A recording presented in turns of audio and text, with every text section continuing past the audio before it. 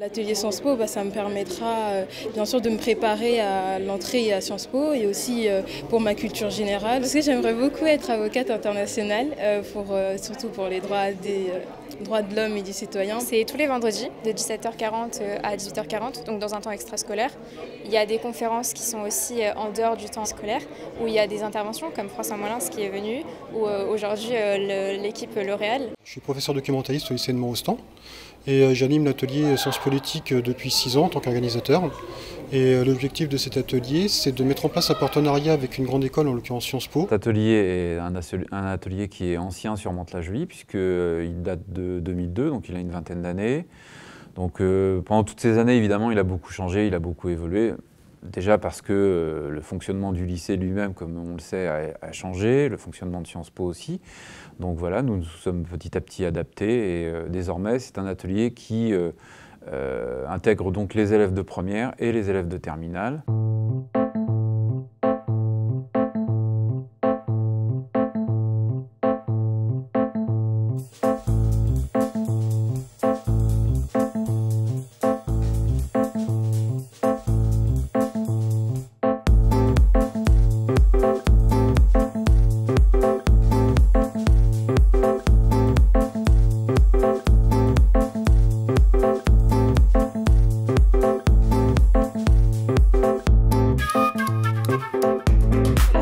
Euh, particulièrement dans, le mentorat, c'est que euh, je peux discuter avec euh, une personne qui soit déjà insérée dans le monde professionnel. Moi, mon rôle a été plutôt celui d'essayer de, l'aider à comprendre quelles sont ses valeurs par, par, rapport à son parcours, à ses expériences, et du coup capitaliser sur ça pour construire un discours et un CV qui soit suffisamment solide pour postuler à l'époque au stage de césure.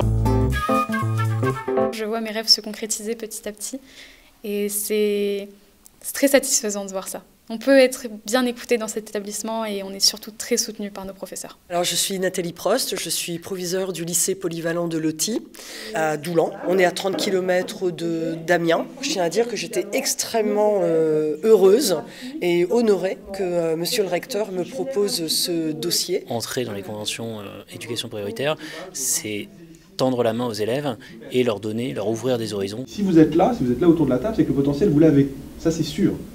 Après, la question, c'est du travail, du travail, encore du travail. Personnellement, je fais partie de l'atelier Sciences Po euh, avec mon professeur, euh, Monsieur Normand. En fait, c'est un atelier qui euh, se réunit deux heures tous les 15 jours. Au début, je me suis dit, oula, il y a beaucoup de choses, ça paraît assez complexe, je me suis dit, je vais peut-être pas y arriver. Et dans ces ateliers, en fait, on commence dès la classe de seconde à les préparer à Sciences Po Paris et d'une façon générale aux études supérieures. Donc euh, ça concerne mon avenir euh, plus particulièrement parce que j'aimerais euh, faire du droit plus tard, donc euh, être avocate euh, en droit pénal. Ce projet Sciences Po Paris euh, a été pour nous véritablement une voie toute tracée vers l'excellence, vers l'ambition et une manière de montrer aux élèves que c'était possible, que c'était possible, qu'à Doulan, en effet, on pouvait être un élève et on pouvait avoir en tête, on pouvait avoir comme idée, comme perspective